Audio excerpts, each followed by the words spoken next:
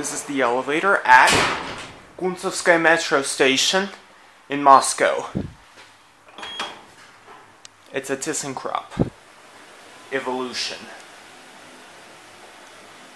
It's a second elevator that I didn't get a chance to film. Similar cap to Strogino Metro Station 2.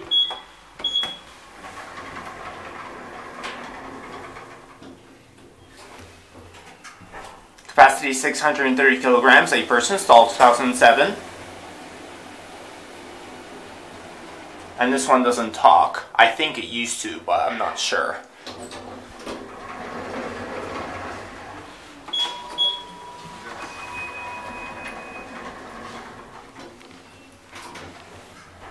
Cab view. Nice elevator, fixture, step module. Doing one right, because it's quite risky to film. Look at the key switch, it's, it's quite falling apart. I finally got a chance to film the second elevator here. And this station is soon gonna be, there's Aqua Red.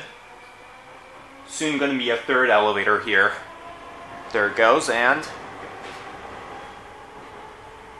that's it.